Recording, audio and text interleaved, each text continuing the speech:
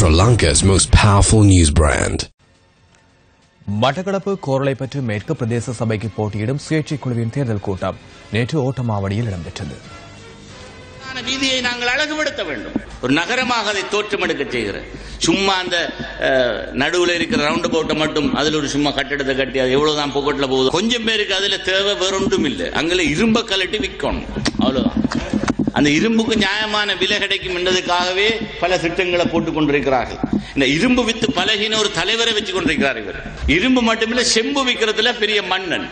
Sir சகாய விலையிலே செம்பை எங்களுக்கு பெறுவதற்கான முயற்சியில் தடையாக இருக்கிற ஒரு அமைச்சு தான் வர்த்தக அமைச்சு. இந்த அமைச்சு செய்கிற திருகுதாளங்கள் இவை என்றெல்லாம் எங்களுக்கு பெரிய முறைப்பாடு அதை பார்த்த உடனே விளங்குச்சு. ஆனா இவர்கள் செம்பு களவாக இந்த நாட்டிலே வெளியே கொண்டு போவதற்கு நல்ல வழியை கண்டுபிடித்திருப்பார்கள்.